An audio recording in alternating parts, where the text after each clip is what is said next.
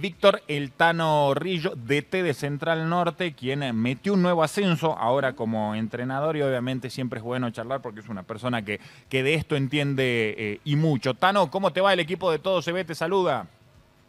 Buen, buen día, muchas gracias. Saludo a ustedes, muchachos. Muchísimas gracias. Eh, Muchachas, porque me habló tu productora. Bien, Claro, muchas gracias. También, y también la tenemos a, a- Maru y a Carlina acá en, en la mesa. Tano, eh, Saludo ca- a ella, sí. calculo que contento con lo que lograron, con Sí. el trabajo eh, y sobre todo porque, digo, esto creo yo, independientemente de, de- de quién sea el equipo, suma para el fútbol del norte. Sí, imagínate, primero muy contentos. eh, yo me inicio, mira, la historia es así. Gimnasia de Jujuy me compra a mí a Central Norte en el Claro. año 81, a principios del 81. Eh, me adquiere en forma definitiva y ahí yo paso a, después hago una carrera donde me tocó con el Lobo Querido ganar todo, desde la liga hasta llegar a la primera división, después lo dirigí dos veces, Eh, tengo una historia enorme, son, fueron 14 años en total. Pero yo empiezo en Central Norte, yo arranco mi carrera, mi barrio, a una cuadra me crié. O sea, el club de mi infancia, y, y cuando yo la- cuando me manifesté como hincha en una tribuna fue en Central Norte. Eh, nos sentimos muy contentos, la verdad que es un logro, después de 37 años, ha pasado mucho tiempo, y es un, es un equipo grande Central. Central tiene, si bien Salta tiene tres equipos, Sí. está dividido en tres, en los tres más grandes, que son Gimnasia y Juventud junto a Central. Central tiene una hinchada muy grande, Central es el popular, Central es el sufrido, ¿me entendés? O sea, eh, la gente está muy contenta y hay generaciones enteras que no habían visto un logro de este tipo, ¿no? Así que todos los que son menores de, de 40 años, ¿no? Prácticamente no lo habían visto. Eh, en lo particular.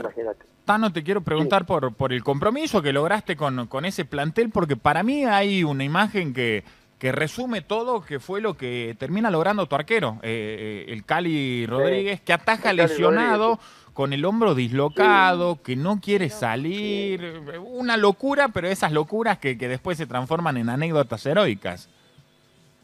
Sí, la verdad que lo de lo de Cali fue enorme, más allá que hizo hizo un buen año él acá. Ujú.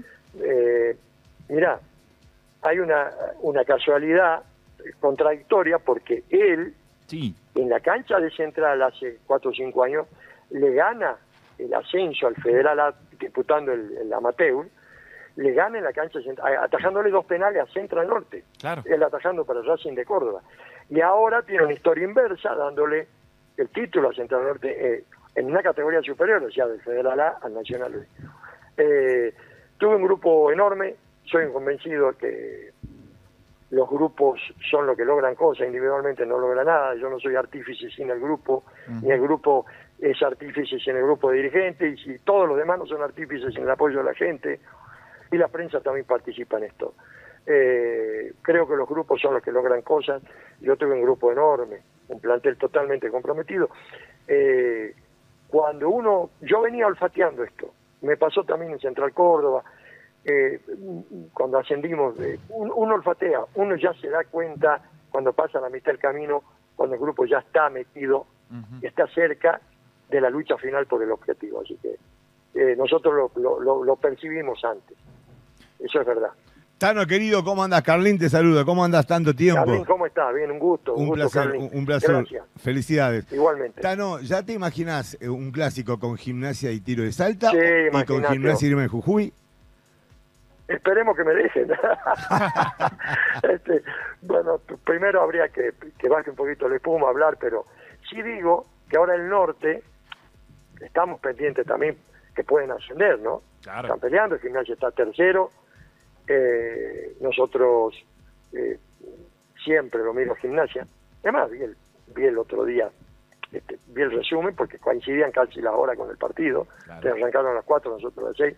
Pero vi la semana anterior, antes que de la semifinal, vi cuando Panchito hizo el gol en el empate ya contra San Miguel, lo vi completo por televisión al partido. Lo sigo, lo sigo, lo sigo siempre.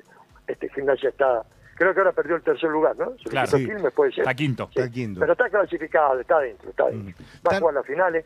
Decía esto porque está Gimnasia y Tiro también que puede entrar y San Martín de Tucumán que es gran candidato. ¿Qué quería decir? Y ahora puede haber cuatro equipos, si no asciende ninguno de los nombrados, cuatro equipos para jugar los famosos clásicos del norte. que hace muchísimo no se jugaban de provincia a provincia. Exactamente. Y Así que, así que estamos, estaría bueno eso también, ¿no? ¿Crees que, Estaría eh, bueno eso también. Tano, conoces obviamente la categoría, eh, pero eh, Sí. en la última parte de, de estos años, ¿crees que se ha, se ha vuelto más difícil, más complicado el Nacional B? Se han bordado, mira, yo, a ver, debuté en el año 76, imagínate en Central. Y ya en gimnasia de Jujuy en el 81 salimos campeones. Eh, se han bordado las líneas que separan los, los seis últimos con los seis primeros en las categorías están casi borradas. claro. Te lo digo verdad, están casi borradas. No era así antes, pero ahora se han borrado. Hay, hay una superpoblación de equipos en todas las categorías, entonces eh, se ha hecho una paridad en los últimos. Por ejemplo, entre los seis primeros lugares y los, por ejemplo, los últimos cuatro de primera división y los primeros seis, o sea, los seis mejores equipos del Nacional B, trabajando bien y retocando pueden pelear en la primera división. Pelear no descender, ¿no? Lo mismo entre Nacional B y Federal A Claro. me parece. Y bueno, la prueba la tenés con Gimnasia y Tiro, que con un plantel casi completo de Federal A, estuvo todo el tiempo entre los ocho. Sin Todo lugar. el tiempo. Todo el campeonato. Así que con tres, cuatro refuerzos nada más. Eh, Tano, vos sabés que, que charlando con vos eso Sí. empezó a, a generar una repercusión muy linda, con mensajes, con, con gente que, que- que te Sí. recuerda mucho y, y que se alegra mucho, exjugadores de gimnasia de Jujuy, seguramente compañeros tuyos, Sí, así que llamaron, eso debe estar buenísimo también. mucho, sí. sí, sí, sí, la verdad. Yo quiero confesar algo. Sí, Eh, soy un salteño eh, casi jujeño o jujeño casi salteño, como lo quieran poner. Ajá, porque yo pasé los mejores años de mi vida. Ahora estoy viviendo esto algo muy especial, pero yo pasé, nosotros logramos seis títulos con Gimnasia de Jujuy, claro. imagínate, como jugador. Entonces, es una historia grosa larga, eh, son 14 años, 12 como jugador, 2 como técnico, es mucho tiempo. Eh, una ida mía al Ecuador a jugar 2 3 años, la vuelta para meter un broche de oro, me retiré en primera división, jugando en primera división, en un partido frente a Lanús. Es una historia enorme. Yo me siento muy identificado con Gimnasia de Jujuy. A ver, eh, por eso digo, no sé si soy salteño jujeño o jujeño salteño. La verdad, porque porque ese ese cariño y esa identidad que me dio Gimnasia de Jujuy es muy importante también.